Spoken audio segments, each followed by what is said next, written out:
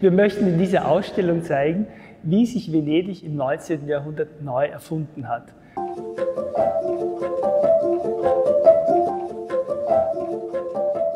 Als ein kultureller Machtfaktor, nicht mehr als politischer oder wirtschaftlicher Faktor, sondern als kulturelle Großmacht.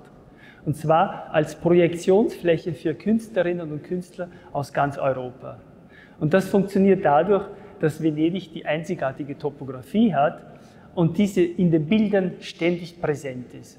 Das funktioniert aber auch dadurch, dass es in den Dichtungen, in den literarischen Werken immer wieder aufscheint, in unterschiedlichen Rollen. Und Venedig wird dann auch zum Akteur in den Filmen. Also Venedig erfindet sich als kultureller Player in einem europäischen Konzert.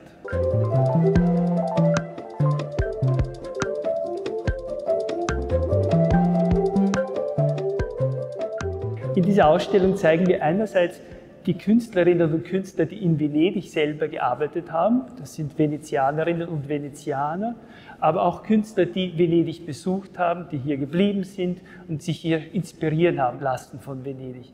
Wir zeigen aber auch ein Bild, ein möglichst authentisches Bild der Stadt. Die Neuerfindung Venedigs besteht auch darin, dass im 19. Jahrhundert das Bild der Stadt gleichsam kreiert wird, das wir auch heute noch von der Stadt haben.